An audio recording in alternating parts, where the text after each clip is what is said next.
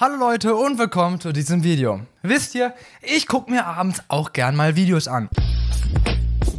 Und dann sind es auch mal manchmal einfach solche Videos wie zum Beispiel iPhone 16 versus iPhone 16 Pro, wo dann die Kamera verglichen wird.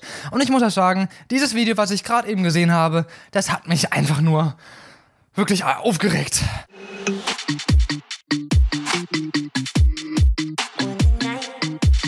But here is where the iPhone 16 Pro shines. The 5X camera is beautiful. It actually looks like a DSLR camera. Die 5-Mal-Kamera sieht so gut aus, sie sieht aus wie eine DSLR-Kamera. Und wisst ihr was, das regt mich innerlich so krass auf. So, wieso vergleicht man das bitte mit einer DSLR-Kamera? Erstens, DSLR heißt Spiegelreflexkamera. Das heißt, es ist noch eine ältere Kamera. Es spielt aber keine Rolle, ob es jetzt DSLR oder DSLM ist. Es sind beides Kameras. So, und zweitens, wieso vergleichen die die das mit einer DSLR-Kamera, nur weil es jetzt mehr reinzoomen kann und einen Porträtmodus hat. Das ist doch vollkommen Humbug. Meiner Meinung nach macht so eine DSLR oder DSLM-Kamera aus, dass man einen RAW-Modus hat und dass man die Schatten selber bearbeiten kann. Dass nicht selbst das Handy irgendwie die Schatten aufhält und dann so ein fertiges Image rauskommt. Das ist für mich keine DSLR-Kamera. Also bitte. On the right here on the 16 Pro, you can obviously see that his face looks natural, it is not wide, his ears are gone, and his face just doesn't look natural. Das Gesicht sieht nicht natural aus, weil es nicht mit einer 5x Zoom-Kamera fotografiert wurde. Ich glaube, ich spinne. Ich, das ist doch so dumm. So dumm kann man doch gar nicht sein. Erstmal Erklärung. So. Dieses Porträtfoto wurde wahrscheinlich mit der 2x Zoom-Kamera aufgenommen. Das heißt, es sind umgerechnet ungefähr 50 mm. Und das heißt, es ist ungefähr das Bild, was wir auch mit dem Auge sehen. Also 50 mm. Und das sagen wir, das sei nicht mehr natural. Sag mal, ich glaube, ich spinne. 50 mm ist das Naturalste, was nur gibt. Fünfmal ist zu weit reingezoomt. Das sieht dann eher nicht mehr natural aus, weil es dann schon zu weit reingekroppt ist. Mag zwar besser aussehen, aber mehr natural ist es definitiv nicht. Here's a quick example during the night, just how much framing you need in order to get the pictures to look the same. On the left, we have the trees that are fully in focus and it just takes away from the subject. And when I frame them in the same position as the 5X, it just looks terrible. Und jetzt machen sie ein Porträt in der Nacht und jetzt sagen sie, ja, fünfmal Zoom ist viel mehr reingezoomt und sie trägt viel mehr besser aus, weil der Hintergrund nicht mehr so distracting ist. Wieso geht ihr dann mit dem normalen iPhone 16 nicht einfach näher dran? Das ist doch auch direkt viel natürlicher, wenn man näher dran geht. Ich zeige euch mal, wie weit man mit dem iPhone 16 weggehen muss, um erstmal so ein Porträt machen zu können. Das sind ganz schön viele Meter, die man sich da entfernen muss. Mit dem iPhone 16 wäre das einfacher. Und ihr könntet dann mit der 2x-Zoom-Kamera dann ein nettes Porträt aufnehmen, was vollkommen super aussehen, wenn ihr mit dem Porträtmodus fotografiert. Wenn ihr von derselben Stelle aufnimmt, klar. Aber das ist ja auch nicht der Vergleich, wie man so ein Handy vergleichen sollte. But here is where we see the bigger difference. The iPhone 16 Pro obviously has the 5x telephoto camera. And when zooming in and cropping in, this is crazy. I can actually see my wife's face in this picture versus the one on the iPhone 16. Gut, jetzt haben wir es geklärt, dass wir, wenn wir näher reinzoomen wollen, wir mit dem iPhone 16 gearscht sind. Ja, klar, es hat ja keine 5x Zoom-Kamera. Das ist nun mal der Grund, weshalb man auf ein 16 Pro upgradet. And here is a great example of zooming in. The iPhone 16 Pro with the 5X versus the iPhone 16 with the 2X, but when we punch it in and frame it up, You can see a huge difference on that building. Ja, haben wir gerade schon gehört, die 5x Zoom-Kamera ist wirklich super. Ich würde sagen, aber einmal sagen reicht. Punching in, the 5X again did a really good job and punching in further, you can actually read the text on the iPhone 16 Pro versus on the iPhone 16, you can barely see the text on that book. In diesem Beispiel muss ich euch ehrlich sagen, dass ich enttäuscht von der 5x Zoom-Kamera bin. Ja, es hat zwar ein bisschen mehr Details, aber ganz ehrlich, so viel mehr sieht man da jetzt auch wieder nicht. Man kann ein bisschen besser die Schrift lesen, aber das ist nicht der Zweck einer 5x-Zoom-Kamera. Bei einer 5x-Zoom-Kamera mit 12 Megapixel sollte der Text richtig klar erkennbar sein. Man sieht hier aber Geschärfung noch hinzugefügt, was ehrlich gesagt nicht so geil aussieht für eine 5x-Zoom-Kamera. Und da finde ich die iPhone 16 Qualität reingekroppt schon erstaunlich gut. And on the iPhone 16, you can't even tell what it is and even the color. But on the iPhone 16 Pro and when punching in, wow. The difference is crazy. Und noch ein Vergleich mit der 5x Zoom Kamera versus die 1x Zoom Kamera. Ja, Wie wir auch schon von den weiteren Beispielen am Anfang gehört haben, wissen wir, dass die Zoom-Kamera einfach besser ist bei gutem Licht. Aber mal sind wir mal ehrlich, beide Images sehen irgendwie kacke aus. And here's a picture of our neighbor's horse, and you can definitely tell a difference there. Ja, nochmal ein Beispiel. Nochmal das 16 Pro besser bei der Zoom-Kamera. Here's a picture of our dog using the digital zoom on the iPhone 16, and it just looks terrible. Und schon wieder. And with this waterfall, same thing with the 16 Pro, it just looks nicer when zoomed in. Und schon wieder. I essentially see no difference here in terms of quality, even though the iPhone 16 Pro shoots at 48 megapixels, when you look in the settings of the image, it defaults to 12 megapixels. So und gerade jetzt, wo es Unterschiede gibt, sieht er auf einmal keine Unterschiede mehr. Bei dem Makrobild sieht man doch jetzt ganz klar, dass es erstens weniger rauscht und zweitens mehr Details hat. Also ganz ehrlich, was ist denn mit dem los? Hat er seine Brille bei manchen Bildern nicht aufgehabt? Doch, also ich habe die Bildschirmauflösung hier auf 4K gestellt und ich muss ganz sagen, das iPhone 16 Pro sieht bei dem Makromodus schon besser aus. I tried to take a picture of the steering wheel and look what it did. It completely blew out the background with its dynamic range. I have no clue why it's doing this, and when you reframe and still focus on the steering wheel, it does not change. My thought is that the 48 megapixel on the ultra wide has worse dynamic range than on the iPhone 16. Jetzt stellt sich heraus, dass die neue 48 Megapixel Ultraweitwinkelkamera weniger Dynamic Range hat. Boah, ein Drama. Wirklich. Und ich kann euch sagen, kompletter Bullshit wieder. Normalerweise sagt man ja bei richtigen Kameras, sie haben weniger Dynamic Range, wenn man die RAWs nicht mehr so krass aufhellen kann und die Schatten hochziehen kann.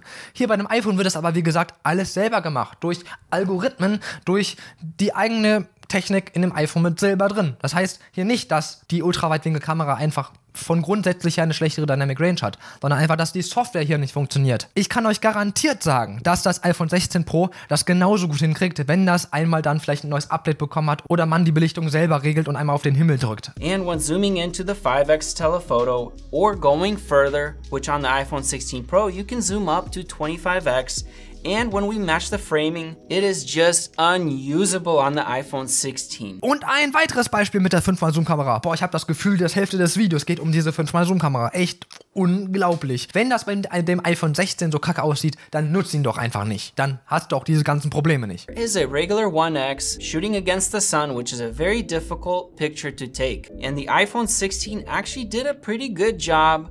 Yes, the sun is blown out on the iPhone 16, but on the iPhone 16 Pro, it is much darker. Yes, the sun is blown out on the iPhone 16. Was für ein Scheiß wieder. Also ganz ehrlich, ja, das Gesicht ist hier viel heller und ist viel schöner erkennbar. Das finde ich gerade bei einer Kamera gut. Und ich kann euch sagen, bei beiden Bildern ist die Sonne ausgebrannt. Ihr könnt ja bei beiden Bildern sehen, dass die Sonne weiß ist. Das ist das Indiz dafür, dass sie ausgebrannt ist. Es ist aber nichts Schlimmes, wenn sie ausgebrannt ist. Das können selbst die besten Kameras der ganzen Welt nicht tun, weil denn die Sonne ist einfach das hellste und da kannst du mit einer Verschlusszeit von einer 200.000stel fotografieren und die wird immer noch ausgebrannt sein, weil sie eben so hell ist. Ist jetzt nicht schlimm, dass die ausgebrannt ist. Hier muss ich einfach sagen, das iPhone 16 hat einfach einen besseren Job gemacht mit diesem Foto hier, weil das Gesicht einfach heller und schöner ist. And here's that ultra wide during our practice.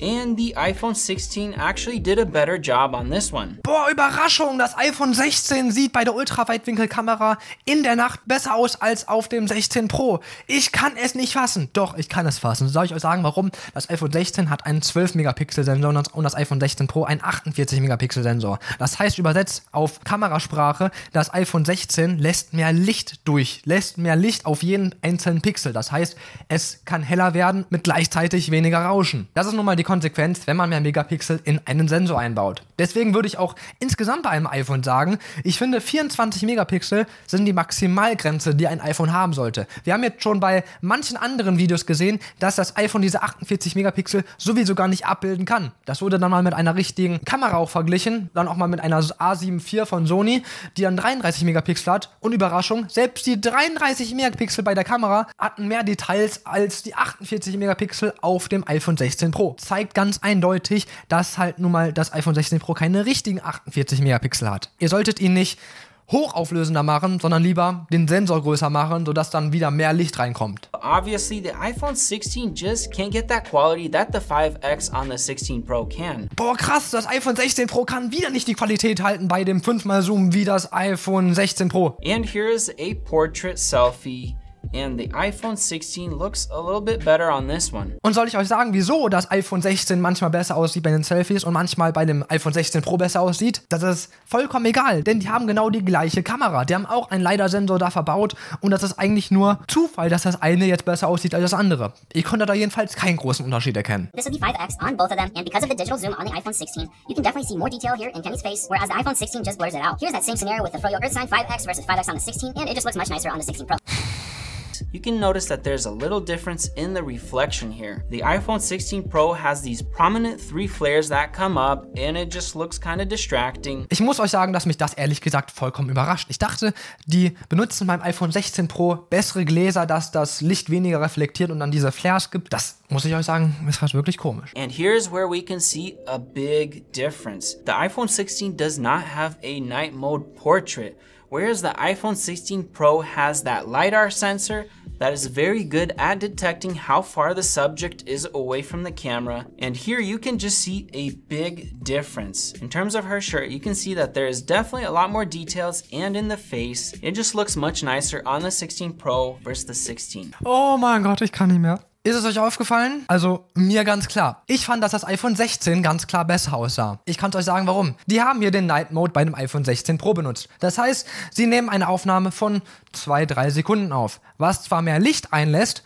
aber das Bild verwackelt halt. Es ist zwar nicht viel, wenn man wirklich still hält, aber es verwackelt trotzdem noch. Und deswegen sah der Porträtmodus bei, bei dem iPhone 16 Pro sogar schlechter aus. Und das zweite, was mir aufgefallen ist, ja, das sah heller aus bei dem iPhone 16 Pro, aber viel zu hell. Das Auto war vollkommen viel zu hell. Ich fand den kontrastreicheren Look bei dem iPhone 16 viel, viel besser. Und wie gesagt, der Porträtmodus sah da auch besser aus. Der haben da zwar gesagt, dass das Oberteil mehr Details hat. Ich fand einfach nur, dass das ein bisschen mehr geschärft aussah. Mehr Details waren da ganz bestimmt nicht drin. But here is where I was surprised. When I went home and took these macro photos in a very dark environment, for whatever reason, the iPhone 16 did a much nicer job. Boah, und Überraschung, die Makrobilder bei Nacht sehen bei dem iPhone 16 auch besser aus als bei dem iPhone 16 Pro. Genau das gleiche Spiel wie vorhin, das ist einfach der Ultraweitwinkelsensor, der hier eingesetzt wird. Der Ultraweitwinkelsensor hat 12 Megapixel anstelle von 48 Megapixel, das halt einfach besser für Nachtaufnahmen ist. And here's the final picture of this comparison, and this was a 30 second night shot, and the iPhone 16 Pro added this vignette right here, which is really interesting versus on the iPhone 16. It just made the whole sky one gradient, but in terms of the quality, they look identical. In terms of quality, they look identical. Ja, vielleicht sieht die Schärfe bei beiden Bildern identisch aus, weil klar, Sensorgröße ist gleich, 48 Megapixel bei beiden Fotos. Aber dann spielt doch dann hier erst recht die Rolle, wieso jetzt die Ecken bei dem 16 Pro auf einmal so abgedunkelt sind. Das ist doch dann gerade das Hauptmerkmal, wieso das iPhone 16 doch dann hier besser ist. Ich will doch bei einem Himmelfoto dann auf einmal nicht schwarze Ecken haben. Also bitte, hier gewinnt ganz klar das iPhone 16. iPhone 16 Pro models are clearly the ones you should be buying if you really care about the camera quality. So, jetzt kommt mal mein Fazit. Sam hat gesagt, wenn du wirklich über Kameraqualität wenn das dir wichtig ist, dann solltest du dir das iPhone 16 Pro kaufen.